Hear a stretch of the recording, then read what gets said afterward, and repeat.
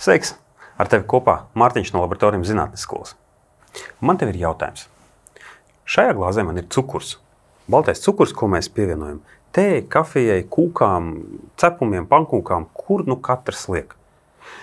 Bet tā ir tīra viela, kur ķīmiķis sauc par saharozi. Savukārt dabā, tīrā veidā, mēs īsti saharozi neatradīsim. Mums cukurniedru cukurs ir, cukurbiežu cukurs, bet kādā veidā no turienes to var izdabūt ārā?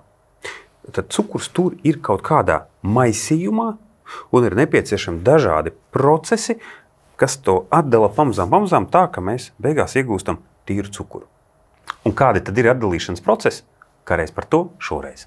Mums var būt viendabīgi maisījumi un neviendabīgi maisījumi. Viendabīgi maisījumi, kā piemēram, tie ir šķīdumi. Ja mēs paņemam sāli vai cukuru, izšķīdinām ūdenī, mēs iegūstam viendabīgu maisījumu. Mm. Kā tad var atdalīt? Ja mēs paņemam, pieņemsim sāli, šeit man ir, e, paņemsim ūdeni, karstāku šoreiz paņemšu, lai ātrāk izšķīstu. Tā, karsts ūdens. Un pievienosim nedaudz sāli. Kas tad mums tur īsti ar sāli notiek? Jo sāls pēc savas būtības mums ir mazi balti kristāliņi, bet šeit šķīdumā, tad miedarbībā ar ūdeni mums sāls daļiņas uh, atdalās viens no otra un pēc būtības var teikt līdz molekulām, precīzāk šajā gadījumā līdz joniem, tad vismazākajām iespējamām daļiņām, kas mums var būt tajā ūdenī.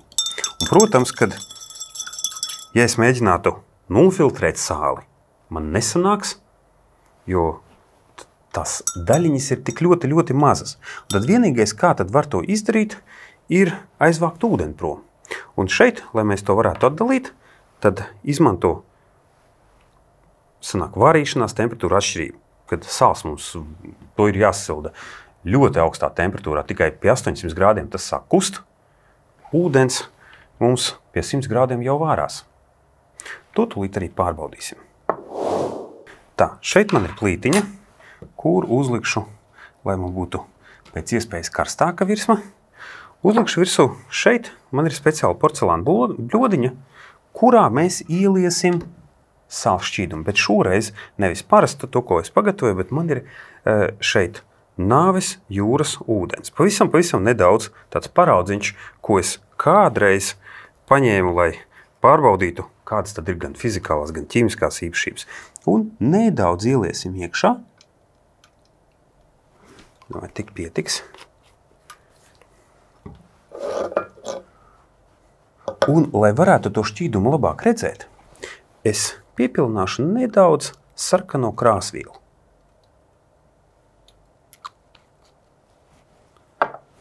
Sanāk tā, ka sarkanā krāsviela man saķersies kopā ar sāls kristāliņiem, un mēs varēsim labi redzēt tās nogulsnes.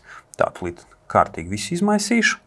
Redz, kā turpat sākās interesanta ķīmiskā reakcija nedaudz. Bet uzliekam un atliek tik gaidīt, kamēr viss ūdens iztvaikos un cik tad sāls paliks. Pēc teorijas saka, ka nāves jūrā ir aptuveni 30% sāls, kas ir pēc savas būtības gandrīz vesela trešdaļa. Gaidīsim un skatīsimies.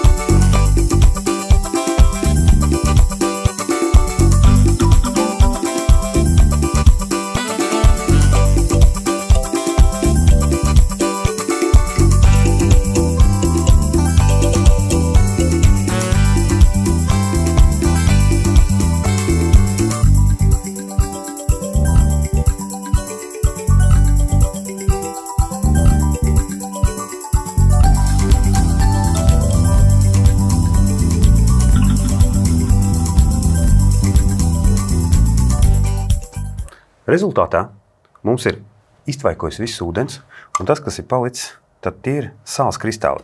Šeit rekur es varu pamēģināt pat ar karoti nedaudz savākt. Un, protams, ar to sarkano krāsvielu uh, mums ir iekrāsojies sārtā krāsā.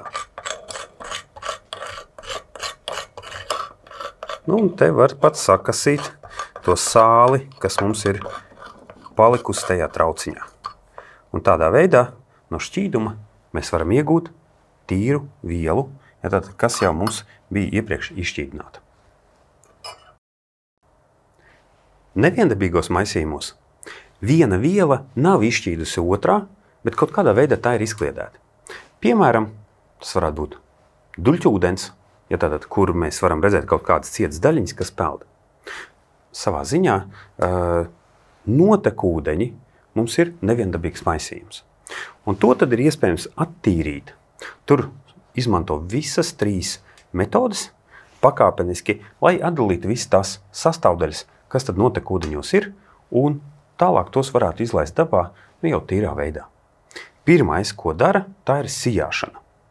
Tad notekūdeņi, kad ieplūst tajā pieņemšanas kamerā, tad pirmais iziet cauri speciāliem sietiem, un tur var noķert visādus maisiņus, visādus uh, gabaliņus, kas tur būtu, ja koka, piemēram, vai, vai papīra, kas pieņemsim vai nu ar notekūdeņiem no ielas nonāk, vai nu kāds, pieņemsim, noskalojas toaletē. Pēc tam mums iet uz priekšu caur speciāliem gariem kanāliem, un tur ūdens ātrums ir salīdzinoši lēns ar mērķi, lai varētu nogulsnēties smagākās daļiņas, piemēram, smiltis, ja, kas nonāk uh, no ietvēm kopā ar notekūdeņiem. Tad tur savācās visas smiltis un kaut kādas lielākās daļiņas. Tālāk ūdens tiek aizsūtīts uz vēl lielākām tvertnēm, un tur jau ilgākā laikā tiek nostādināts vēl citas smalkākas daļiņas, kas nenosēžās uzreiz, bet pēc laika. Piemēram, tās var būt māla daļiņas, putekļu daļiņas, kaut kādas un kaut kas tāds, arī kas varētu būt turpat uz ielas vai, teiksim, noskalojot no kafijas krūzes, paliek teiksim, kaut kādas kafijas ne tikai lielākie graudiņi, bet arī smalkākie, ja, kurus tad nepieciešams pagaidīt, lai tie nosēžās to ūdeni, kas mums paliek pāri, tad apstrādā speciāli ar mikroorganismiem. Tad tie pēc būtības apēd visas pārējās tās sastāvdaļas, kas tur būtu, un tad vēlreiz veids nostādināšanu, lai gal galā varētu iegūt ūdeni, ko var izlaist dabā. Un tas ūdens pēc būtības ir attīrīts uz 99%. Savukārt, lai vispār mēs mājās varētu izmantot ūdeni, tad to ņem no dabas piemēram, no kāda ezera, upes vai kādas citas tuvākās ūdens tilpnes. Tur arī sākumā izmanto nostādināšanu, lai uh, savāktu lielākos gabaliņus, uh, kas tad ir ūdenī. Tur speciāli veids tādu procesu kā koagulācija, lai savāktu kopā mazās duļķu daļiņas un tās varētu nosēdināt. Un tad laiž cauri speciāliem filtriem, kas ir ogles filtri un smilšu filtri. Caur tiem izējot cauri ūdens, jau ir pietiekami attīrīts, lai varētu teikt tā, nu, vēl viena darbība, tā ir ķīmiskā apstrāde, parasti dezinfekcija, ko vēl veids pašās beigās, un tad sistēmā un līdz katrai mājai, dzīvoklim, kur nu, tas centrālais ūdens mums nonāk. Tad pēc būtības neviendabīgajiem maisījumiem izmanto nostādināšanu, sijāšanu un filtrēšanu. Pārbaudīsim tūlīt ar vienu eksperimentu. Šeit man ir glāze, un tur mēs pievienosim klāt. Man ir trīs dažādas, var teikt, tā, daļiņas ar dažādiem izmēriem. Mums ir kakao pulveris, mums ir māla pulveris un smiltis. Sākumā es ieliešu ūdeni.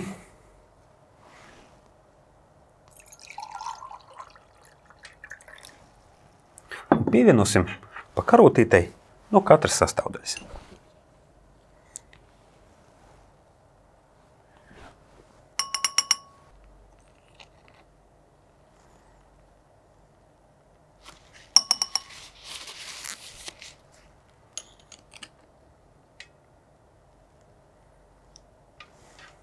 Tā tagad varam to visu izmaisīt.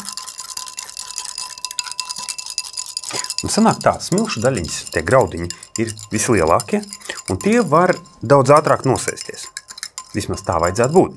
Māla daļiņas jau ir smalkākas, līdz ar to tās, ja arī nosēžās, tad daudz lēnāk. Savukārt, kakao pulveris ir salīdzinoši viegls, un tas gan tik ātri nenosēžās. Un tagad, protams, tas jautājums ir, kā to visu var atdalīt. Tagad pagaidīsim rezultātu lai mums kaut kas nostādinās. Un tas, ko mēs varam pavērot, ka smilšu graudiņi pašā apakšā sāk nosēsties, un tad tur mēs varēsim redzēt plānu, plānu slānīti ar smiltīm. Bet kā tad īsti atdalīt visas tās pārējās daļiņas? Ja vēl māla daļiņas mēs varētu pagaidīt, un tās pēc laika arī nosēstos, tad kakao daļiņas nu, gan tik viegli neatdalīt. Tur mēs varam noteikti izmantot filtrēšanu. Un pēc būtības filtrēšana ir kaut kas līdzīgs kā sijāšana, ka mums varētu teikt, ir nevis sirds, bet kaut kāds materiāls ar ļoti mazām porām, caur kurām tad šķīdums ejot cauri, tur aizķerās visas tās smalkās daļiņas, kas mums ir tajā šķīdumā. Filtrēšanu var veikt ar dažādiem porainiem materiāliem. Šoreiz pamēģināsim izmantot vati, tad papīra dvieli un filtrpapīru. Tad katram no tiem atšķirās poru izmērs, tad caur kuriem var iztecēt šķidrums. Kā tas īsti izskatīsies, cik tīrs gal galā mums būs ūdens, un to apskatīsimies eksperimenta laikā. Tad mums ir trīs kolbas un piltuvs. Katrā piltuvē ieliksim materiālu, ar kuru tad mums viss filtrēsies. Tad sākumā ielikšu šeit vati.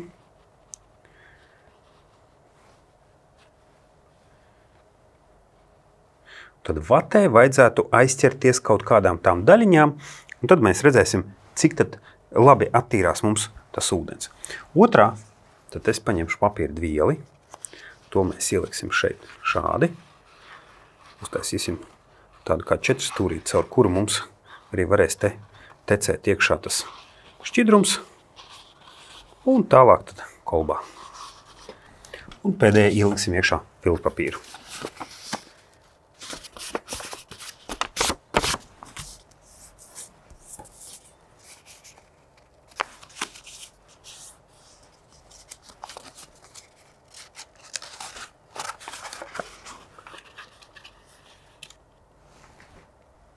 Un tā ņemam mūsu šķīdumu un lejam iekšā katrā no piltuvēm.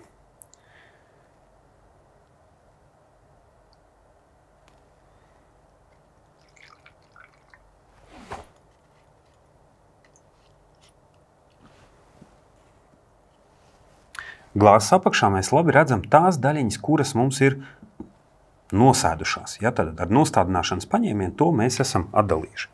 Un tagad ar filtrēšanu caur dažādiem materiāliem, mēs ļoti labi varam redzēt, kāds mums ir rezultāts. Caur vati, kur poras ir vislielākās, tad mēs varam redzēt, šķidrums ir gaišāks nekā sākumā, bet vienalga tās smalkākās daļiņas, tieši kā kauja, mums uh, tiek cauri diezgan labi.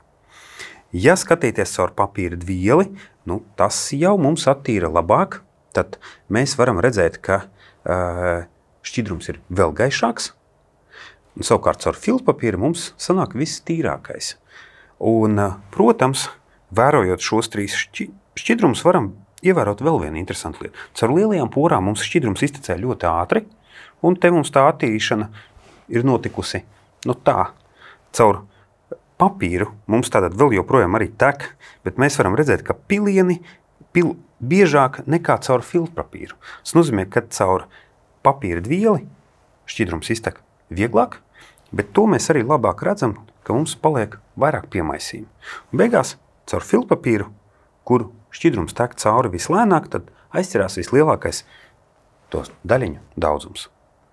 Un tagad apstīsimies, kas tad mums ir palicis pašos filtros iekšā. Šeit vatē, kur mēs varam redzēt, ka mums ir cietas daļiņas, tad kakao, māli, tur var redzēt, ka kaut kas ir palicis. Ja mēs pastīsimies šeit, kur mums ir papīrs, tad tur mums ir palicis vēl pavisam nedaudz šķidruma, bet tur, kur ir filtrpapīrs, tur vēl šķidruma ir pietiekami daudz. Ja tad vēl nav viss nofiltrējies, tad ir jāgaida, kamēr tā filtrēšanās notiks līdz galam. Tad šeit var redzēt arī, ka tas process tiešām notiek lēnāk.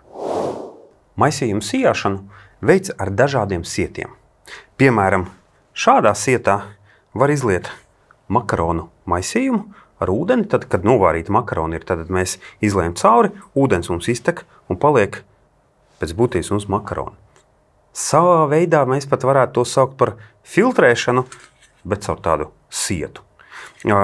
Protams, ja skatīties kaut kur rūpniecībā, piemēram, tad var redzēt, kā caur dažādiem sietiem mēs varam atdalīt kaut kādas sastāvdaļas, piemēram, salmus un graudus. Tad atsevišķi mums ir graudi, atsevišķi salmi, un tos mēs varam attiecīgi sūtīt uh, uz dažādiem mērķiem, ja, kur, kur tiem, tiem jābūt. Vai arī, piemēram, uh, noteikti esi pamanījis, ka smiltis var būt rupjākas, smalkākas.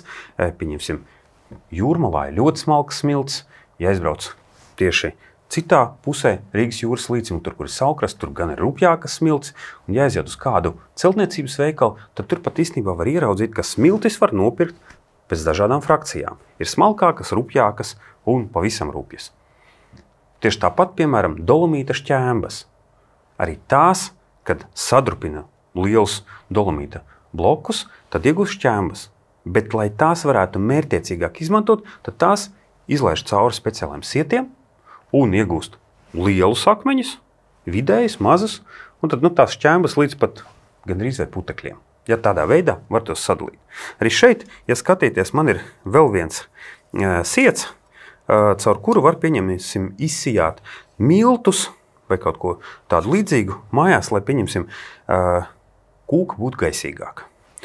Vai arī viens no tādiem sietiem, ko bieži vien mājās izmanto, tas ir tējas pagatavošanai.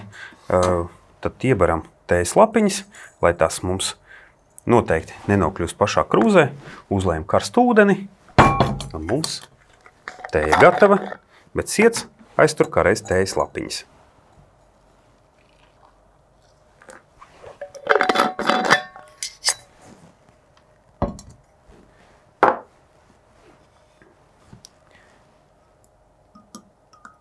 Nu, un te var redzēt, mums ūdens iekrāsojas, bet paštējas lapiņas nenonāk ūdenī. Mēs jebkurā brīdī varam izņemt un atsevišķi atdalīt no paša šķidruma. Lai atdalītu vielas no maisījumiem, pēc būtības ir jāatrod, kas tad ir atšķirīgais tām sajauktajām vielām. Un mums der ne tikai filtrēšana, nostādināšana, sijāšana, bet īstenībā arī citi veidi, kā var atdalīt savstarpēji tos materiālus. Piemēram, ja paņemtu smiltis un koka skaidiņas, tās būtu sajauktas kopā. Mēs varam atdalīt pēc blīvuma, piemēram, iebarot ūdenī, mums koks uzpeldētu, smilts nogrimtu. Vai arī, piemēram, smiltis, tāds, ko mēs varam paņemt kaut kur no smilškastes vai vēl, var saturēt mazas daļiņas, piemēram, dzelzs, oksīdus vai tī, tīrā veidā dzelzi gan retāk. Un, protams, kad Tur var būt kaut kādas daļiņas, kas, piemēram, pielīp pie magnēta. Un uh, magnētiskās īpašības dažādiem materiāliem kā reiz izmanto atkritumu šķirošanā, kur var atdalīt tēraudu, tad dzelzs saturošs materiāls, kas mums pielīp pie magnēta, tad var atdalīt krāsaino metālu, kas arī noteiktā veidā iedarbojas ar uh, magnētiem. Un beigās paliek tas, kas nekādā veidā nemiedarbojas ar magnētiem, piemēram, plastmasa. Pamēģināsim šeit iebērt šīs smiltis. Uzliksim virsū stikliņu un pieliksim klāt magnētu. Un tagad es pamēģināšu tās smiltis pakratīt un pastīsimies pie magnēta. Vajadzētu pielikt tām daļiņām, kuras mums uh, var pielikt pie magnēta. Ja? Pašas smiltis mums nekādā veidā nelīp klāt bet toties daļiņas, kas mums būtu dzelzs oksīdi, noteikti varētu pielikt. Un tā, esmu samaisījis. Tagad es uzmanīgi pacelšu šo stikliņu, un es varu redzēt, re, kur man ir tās daļiņas, kas bija smiltīs, bet nu jau visas mums, kas miedarbojas ar magnētiņu. Tad šādā veidā ar magnētu palīdzību var atdalīt dzelzi vai dzelzs saturošs materiāls, kas pielīp pie magnēta no smiltīm.